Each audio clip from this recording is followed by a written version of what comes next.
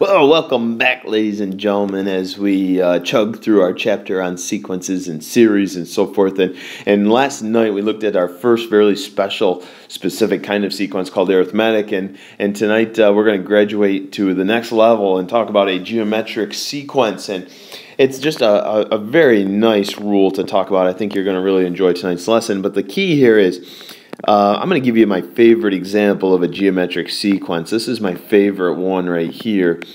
And, and let me ask you, why is this not arithmetic? Okay, could anybody anybody raise your hand and explain to me why this one is not arithmetic?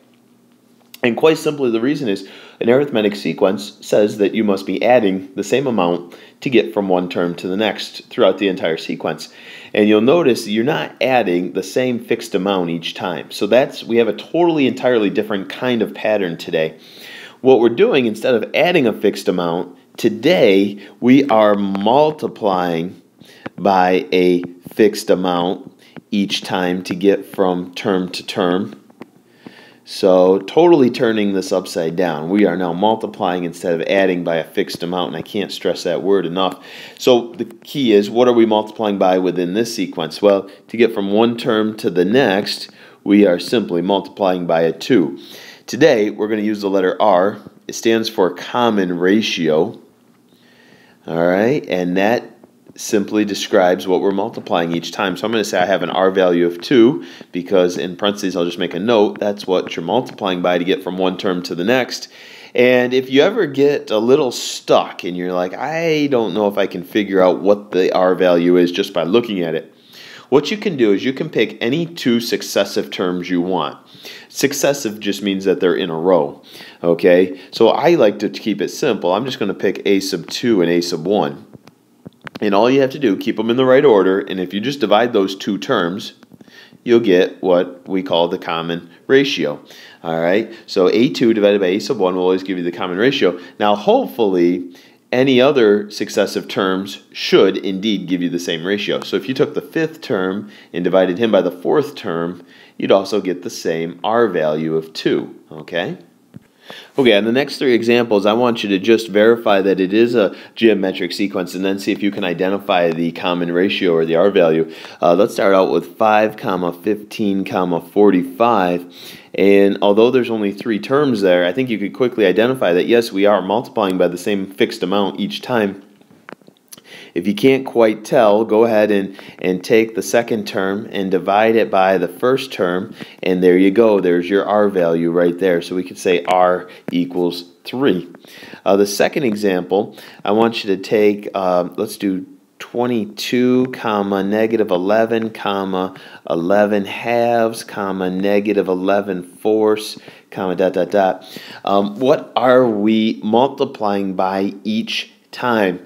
Well, first of all, you'll notice the alternating signs. We went from a positive term here to a negative to a positive to a negative term. So that kind of implies that my R value is going to be negative when I'm all done. And again, if you're having trouble figuring out what to multiply by each time, just keep it simple. Take your second term, divide it by your first term. And then once you reduce that answer, boom, there it is. There's your R value or what we call your common ratio. For our third example, I'm really going to challenge you here. Let's try 4 comma 8 thirds comma 16 ninths, okay, 32 27ths, etc., etc., etc. And you see there's a very nice pattern, and we are multiplying by the same amount each time to get to the next term and therefore that's what makes it geometric. And we'll keep it simple. If you want that R value, just take the second term, which was 8 thirds, divide it by the first term. Now, I know we live in a day and age where you can simply plug this into your calculator. I still find it easier to do it by hand myself, so I'm going to be a little old-fashioned here and go ahead and do that. Uh, now, if I wanted to make 4 a fraction, it's 4 over 1. And all I'm going to do is I'm going to do the first fraction multiplied by the reciprocal of the second fraction. I'm going to reduce a little bit there, and I got a final answer of 2 thirds. So I'm still, I'm kind of old-fashioned. I still think I could do those quicker by hand than I can typing them into the calculator. But I got a common ratio of 2 thirds, and then you could use that R value to then try to produce the next couple of terms if they wanted the next couple. For instance, If I multiplied this term here by 2 thirds, I'd get 64 over 81, I believe. And if I multiplied by 2 thirds again, I'd get 128 over, let's see, times 3 would be 243, I believe. And you could continue to perpetuate that pattern beyond those terms. Okay. Similar to our arithmetic uh, lesson, there's two really important formulas that we need to know. One that we're going to have to memorize, and the other one that will be given to us on our reference sheet for the exam, which is always cool. Uh, number one is the rule for the nth term, and this is by far the most important part of today's lesson. Rule for the nth term. This, just like arithmetic, this is the one you have to memorize, and we're going to say that the nth term is always equal to the first term times the common ratio raised to the n minus 1 power. All right, and uh, there's nothing real fancy there. It's just something we're going to have to memorize and get used to working with. Uh, the second formula is the one that's going to find the sum of a certain number of terms. All right, and it simply says that the sum of the first n terms is going to be the first term times 1 minus r to the nth power all over 1 minus r. Now, of course, r represents your common ratio there, and n represents the number of terms that you want to find. So I'll just reiterate that. r is the common ratio, aka that's the number that you keep multiplying by to get to the next term, and n represents the number of terms that you want to find the sum of. Maybe it's the first 10 terms, maybe it's the first 50 terms, whatever the case might be, that's what n will be. Okay, I've got two examples that I want to throw on this slide right here, and they both have the same set of directions. They want me to find the common ratio. And what if my sequence looked like this? Uh, and they just listed the first four terms, and they said, can you, from just those first four terms, decide what the common ratio is? Again, I can't stress this enough. Keep it simple. Second term divided by the first term, and once you reduce that and you get negative one half, that'll always that's guaranteed to be your common ratio as long as, of course, it's a geometric series. If it was non-geometric, you'd be out the window. Geometric, how do you know for sure it's geometric? Well, you'll notice you multiplied the first term by negative one half, then you multiplied the second term by negative one half, and then the third term by negative one half, and it was true. It kept producing the next term. If you wanted to go further, if you multiplied the fourth term by negative one half, you get positive 3 eighths. If you multiplied him by negative 1 half, you'd get negative 3 sixteenths, and again, again, on and on. Now the second example, instead of giving you the first four terms, I'm just going to give you the rule for the nth term, and it's going to say 5 times the quantity 3 to the n minus 1. Question is, how easy is it? Do I have a lot of work to do, or is the answer sitting right under my nose? Well, recall the formula that we put on the last page. We said the nth term is guaranteed to be the first term times the common ratio to the n minus 1 power. Therefore, and you could see the correlation here, right there is your R value. So without doing any work at all, you could instantly tell me that the common ratio is 3. Okay, for our third example, they're asking me to find the seventh term, and here's what the given sequence. They gave me 2, comma 6, comma 18, comma 54. Uh, now we could sit there and do this. Um, there's you know kind of a long way and a short way to do it. what I'm going to encourage you to do is to first of all write the rule for the nth term. You could tell it is geometric because you keep multiplying by three each time to get to the next term. So we could say, well, the nth term is guaranteed to be the first term, common ratio to the n minus 1 power. So my nth term is guaranteed to be 2 with a common ratio of 3 to the n minus 1 power. And then if you want to find the seventh term, we'll simply substitute a 7 in for n. And let's see, that becomes, let's see, 2 times 3 to the 6th power.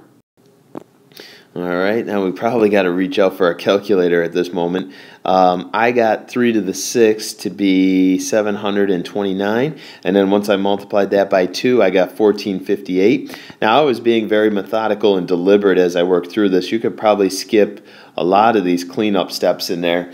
In fact, excuse me, there's nothing that says you can't just plug this into the calculator all at once. I was just being a little extra deliberate about this one.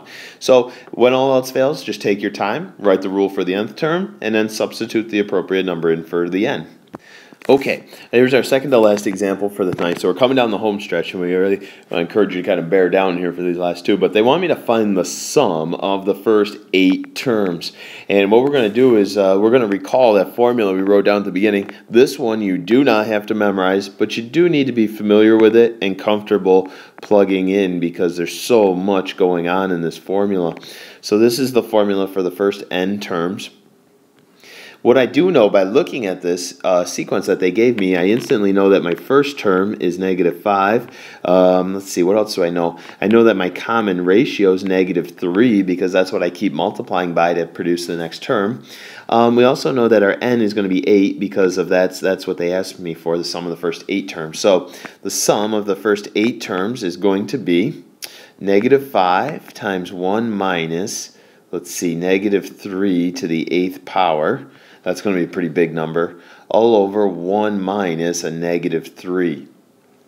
Now it's just a matter of cleaning things up, um, especially if you have the new updated calculator. You can go alpha F1, grab that uh, N slash D feature. Uh, I think it's like the first or second choice on that menu. And then you can just type in this entire problem all at once. However, if you don't have the updated version, you're going to have to be either very, very careful with entering a lot of parentheses. Um, you, the most important thing is if you if you have the TI-83, you're going to have to have an extra set of parentheses here and here, and then an extra set here and here just to enclose your respective numerator and denominator. Um, so you've got a lot of parentheses going on. If you're very, very, very careful, you should end up with a final answer of 8,200. And I strongly encourage you to everybody to grab your calculator and make sure you can type that in and get the correct answer because you certainly don't want to get this far and then screw it up because you can't type it into the calculator. Okay, we're going to wrap up the night here with this particular problem, and uh, it's definitely our most challenging one, but at the same time, it's very doable. And I'm going to try to show you two different methods to do it, and you can pick out which one's your favorite, which one you're most comfortable with. Now, they're telling us right off the bat that the third term of a geometric sequence is a 3, and then the sixth term is a 1 ninth. All right, so that's kind of what it looks like right now.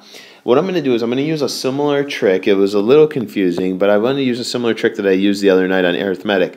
I want you to kind of, for now, delete those first two terms. Let's pretend that those first two mysterious unknown terms don't exist. All right? And I'm simply going to say, well, this is my first term, there's my second term, here's my third term, and here's my fourth term.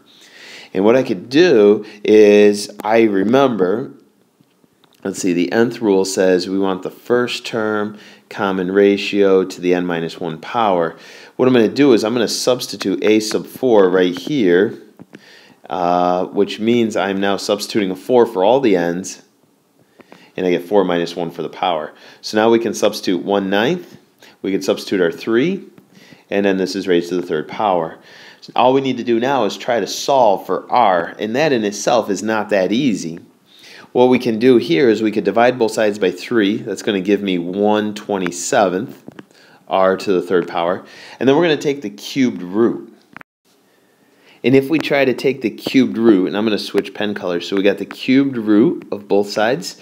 Uh, what that's going to do is that's going to give us 1 third is equal to r, so there's your common ratio.